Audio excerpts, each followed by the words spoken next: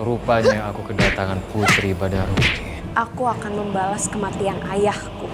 Novia, kamu nggak apa-apa. Ayo Novia, kita pergi. Aku balaskan kematian amaku. Ibumu mati bukan karena aku, Rosma. Tapi kau menolak untuk menyelamatkan namaku.